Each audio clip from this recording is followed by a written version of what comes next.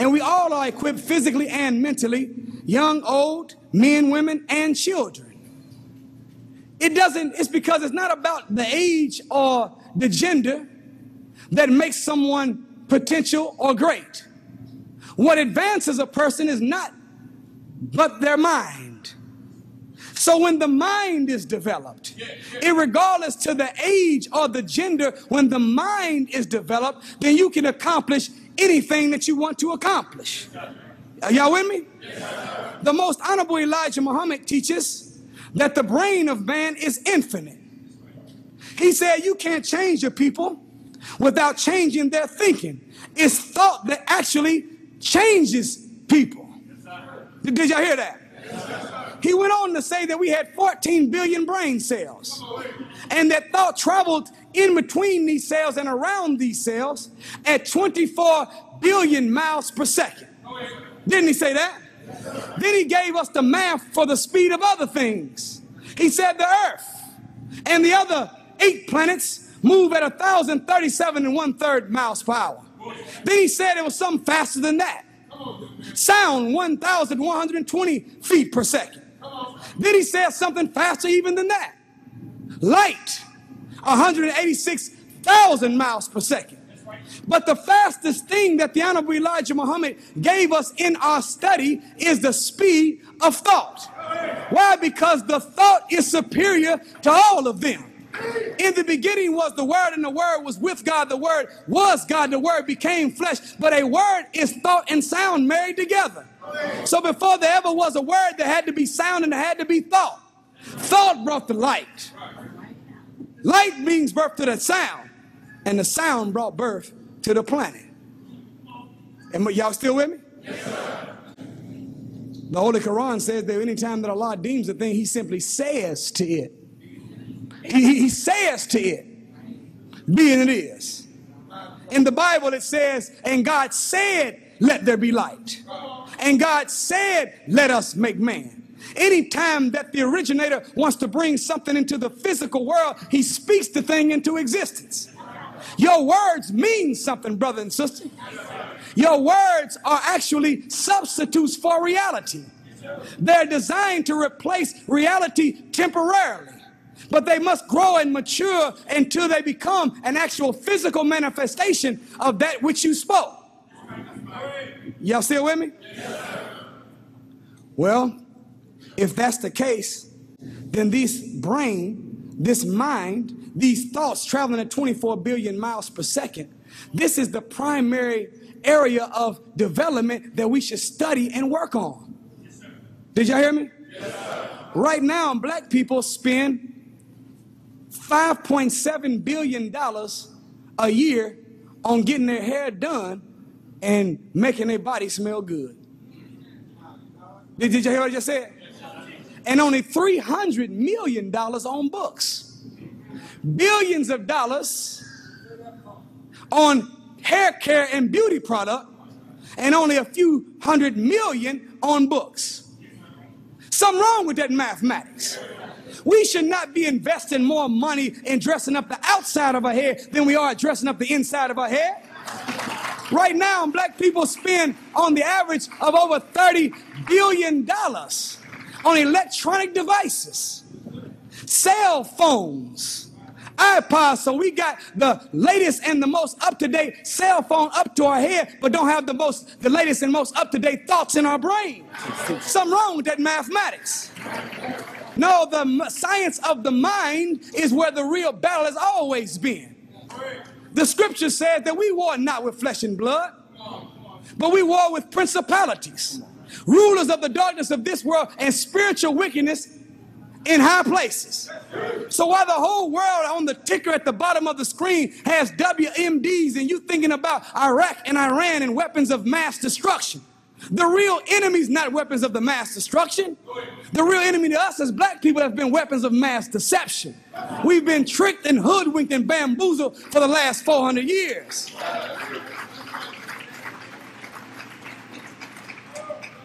The mind is so powerful that it has the ability to be a magnet and a magnifying glass. Meaning, whatever you think about, you will attract it to yourself. And you will also make it bigger than what it was before you attracted it. So you have to be careful, not just in what we say and what we do, but we have to be careful in what we think. The Holy Quran says that the throne of Allah's power is ever upon water. Well, this doesn't mean that Allah got some big throne sitting out in the middle of the ocean. Right. But if you do the math, the Honorable Elijah Muhammad said to us that there was 139,685,000 square miles of water on the planet. Is that right? He said the Pacific Ocean covers 68,634,000 square miles. The Atlantic Ocean covers 41,321,000 square miles. The Indian Ocean covers 29,430,000 square miles. And the lakes and the rivers cover 1 million square miles. But when you add that all up, it comes up to 140,385,000 square miles. Well, where's the other 700,000 square miles of sea and ocean? It's not on the planet, it's inside the human being. So when Allah said his throne is on water, he's not talking about in the middle of a lake, pond, river, or an ocean, but right inside the brain is where Almighty God Allah rests and resides at. All praise is due to Allah. All praise is due to Allah.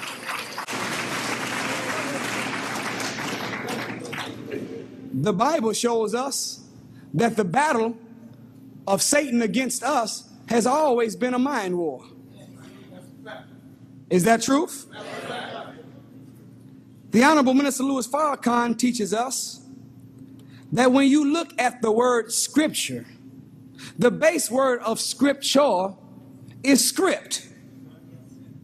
If someone has a script for a play or a script for a movie, a script for a play is a pre recorded document that dictates in advance thoughts and words and actions before the stage is ever set or the camera's ever turned on.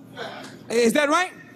Well, just like an actor or actress can read a script to see what role they want to try out for, you and I have been given Bible and Holy Quran script chores.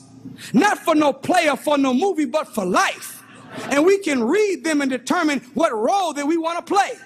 Have you ever wondered why you don't read nobody's last names in the Bible? What's Moses' last name? You say, well, you know, Jesus Christ. Christ ain't his last name. That's his title. You don't read about any last names because it's not as important to know what family they came from as it is the function they came from. Because the function that they came from, you and I will experience it in the modern time. Does that make sense? So when you read the Bible and the Holy Quran, you're not looking at a historical frame of reference. Most of the time, you're looking at today or tomorrow. You're not looking at somebody else. You're really looking at yourself. The scriptures of the Bible can even go beyond just people into being interpersonal. The Honorable Minister Louis Farrakhan says the first time we read about this devil or Satan, he appears in the book of Genesis as a serpent. Is that right? A serpent. He comes out of a tree, right? A tree of the knowledge of good and evil. Trees don't have knowledge on them. Y'all know that, right? You can't go to no tree and get a banana on one side and a Bible verse on the other. And trees never grow two fruits. Trees always grow one fruit based off of their nature. So you don't find a tree that's growing cherries on one side and oranges on the other, apples on one side and pineapples on the other. Each fruit is dictated by the tree, and each tree produces one fruit. But here's a tree of the knowledge of good and evil. And it's a tree that grows knowledge.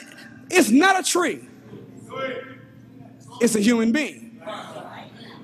Affectionately, they call it an apple that Eve ate. Is that right? Notice that the apple is the symbol of the teachers. And whenever a student comes to school, their first day of school, they bring an apple to put on their teacher's desk. Why? Because the apple represents an idea, concept, or mind. The student is saying that I'm bringing my mind to you. You can have my mind and make it and work with it and do with you what you want. So eating of someone's apples is eating of someone's ideas. So Satan is starting off as a snake in the garden, working on an Adam and an Eve. When we went to school before we started first grade, we went to something called kindergarten. Is that right? Kindergarten is German for kind of a garden. Just like you plant seeds in a garden that you intend to see grow in the future. Your and my babies are taken before first grade. And they have seeds planted in them that don't pop up until sixth and seventh grade and ninth grade and sophomore year. And we saying, man, our babies is crazy. Something wrong with them. They got attention deficit disorder. I don't know what's happening. They crazy. They just, they, it's because you don't know what that kindergarten teacher put in your brain of your baby. So it's best to get your children out of the devil's killing fields and bring them to Muhammad school or teach them yourself. So you know what's going in the kind of a garden called the mind. All praise is due to Allah.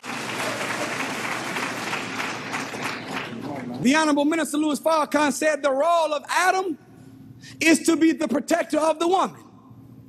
But while Adam slept, Eve was deceived. Your conscious mind's job is to protect your subconscious mind. Your subconscious mind does not have the authority to morally discriminate against what's put inside of it. It's just like the earth. If you put green bean seeds in, you're not going to grow no carrots. You can't put falsehood in and grow truth from the falsehood. So when the mind has in the subconscious mind, is guaranteed to manifest it. The problem is, is that sometimes the seeds that we've had put in our mind from the teacher, from that spirit killer in an institution, or even from a blind, deaf, and dumb family member that told you that you wasn't going to be nothing and everybody in the family is X, Y, and Z. So you thought you rejected it. But it's down deep in your subconscious mind. And it pops up 10 years, 20 years later. And since you don't remember where you got it from and who told you, you think it came from within yourself. Anything that comes from within self, you don't send through the same process of logic. So when it comes from within self, it sounds like you. So you think that you came up with it on your own, so you roll with it. Not realizing that it was a demon or a spirit killer that put a wicked seed inside of your mind that manifests itself in the future with your voice attached to it. Where you believe it came from you and it didn't come from you, it came from your open enemy. So the mind was the original place that we see the war taking place. Y'all hear me? Later on, we read about in Isaiah this, this enemy becoming a Leviathan. Now he's a deep sea monster. Well, if the brain sits on water, the Honorable Elijah Muhammad said this deep sea monster represents submarines in the physical world, but could it represent also in the spiritual world those thoughts in your subconscious mind? Then you read later on at the end of the scripture well, now he's become a great wonder in heaven and he's called a dragon.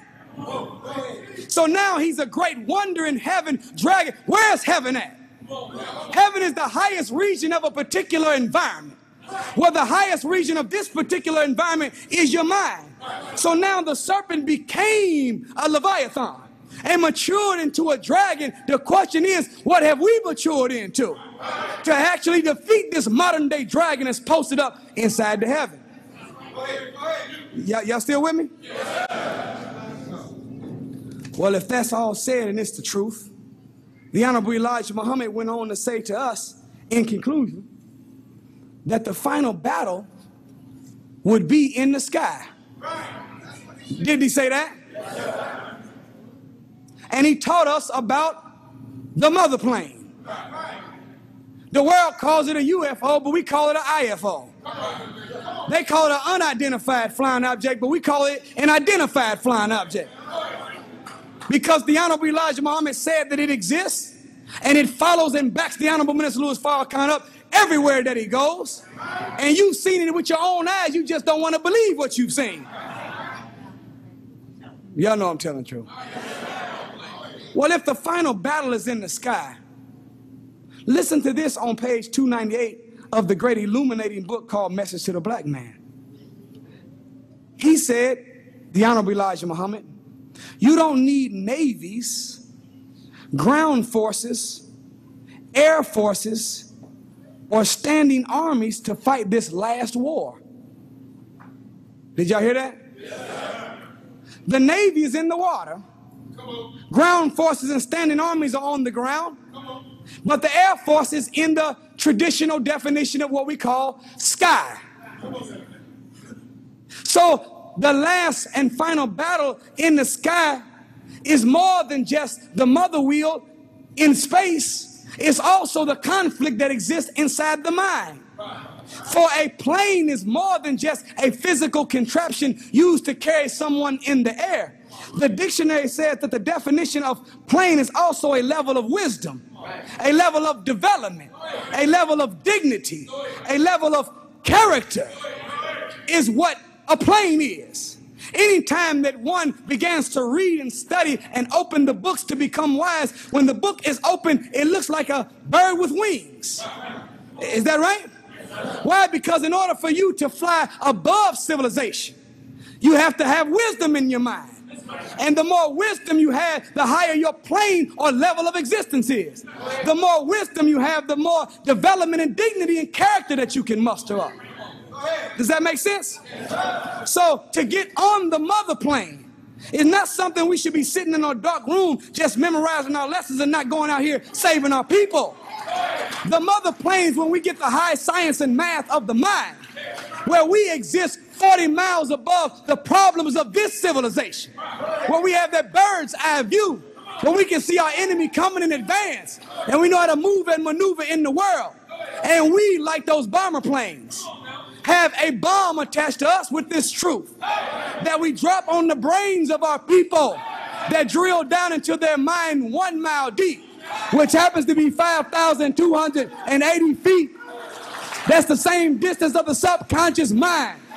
And we can go and blow up all that beast wisdom in their head and resurrect the God knowledge that is recorded and buried in their genetic composition.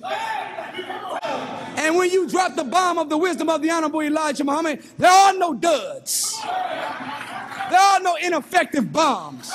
There are no blanks in the wisdom of the Honorable Elijah Muhammad. The whole world tried to say that the Honorable Elijah Muhammad didn't know what he was talking about. But he challenged all of them to prove that he was alive and offered them $10,000 per word. Message to the black man has 110,500 words in it. Fall of America has 80 through 3,525 words. Our Savior has arrived has 70, 70,850 words. And Eat to Live 1 and 2 has 113,750 words. If he was telling a lie, they could have got three billion seven hundred eighty-six million two hundred fifty thousand dollars, but didn't nobody cash in on the Honorable Elijah Muhammad. All praise is due to Allah. So you don't need no Dr. Phil. You don't need no Atkins. You don't need none of the empirical knowledge of this wicked world. You need the explanation of the wisdom of the Honorable Elijah Muhammad by the Honorable Louis Farrakhan and to follow the example of a man that's in front of us. That's the greatest leader, teacher, and guy we've ever seen. In conclusion, all the studying that man can do is like the homework part. We study, we put the wisdom inside of our mind, but every now and then when you come to take a test, it helps. In fact, sometimes more than all our study, to actually have an example at the top of the page. Do y'all remember that? And even though you might have studied as intense as you could, it didn't get you rooted in solving the problems. But when you've seen that example where someone actually worked it out for you in advance, then you have faith and confidence by use of that formula that you can solve the problems. I'm telling y'all, brothers and sisters, the Honorable Minister Louis Farrakhan is the example at the top of the page of life. Follow him and fork his formula, and we will be successful. Thank you for listening. I greet you in peace. Assalamu alaikum.